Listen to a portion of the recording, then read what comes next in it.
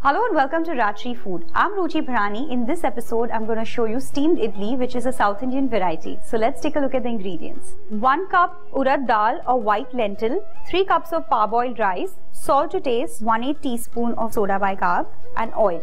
To make the idli batter, first soak the urad dal or the white lentil and the rice separately for at least 6 to 7 hours. Grind the urad dal using minimal water into a fine paste and rice into a coarse paste. This is the consistency of the rice granules that I need. Mix the two and ferment it for 6 to 7 hours and this is the consistency of the batter that I need before fermenting.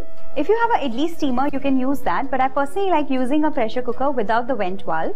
In the pressure cooker, I've kept a small stand and also poured some water in the level of the stand and put a plate in the center. And now I'm going to let this water boil for 10 minutes before I place the idlis in. Let's season the idli batter. So I'm going to add some salt. Mix this well.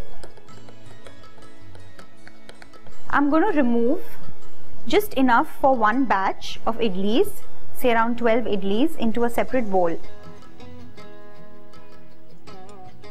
The reason why I remove a portion of the idli batter for every batch separately is because I like to add a little bit of soda bicarb in the batter just before putting the idlis to steam so that the idlis stays soft even after cooling. But it's optional. It's your choice whether you want to do it or not.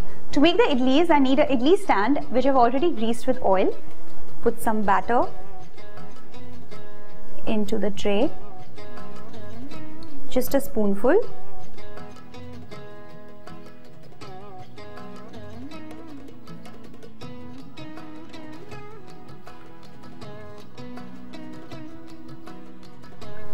Make sure the water is boiling before we place the idlis in.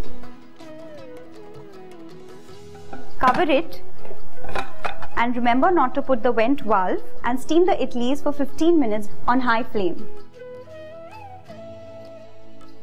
The idlis have been steaming since 15 minutes. Now let's get them out of the cooker. Let the idlis rest for 1 or 2 minutes before we scoop them out of the stand. With the help of a knife, and the idlis are ready to serve.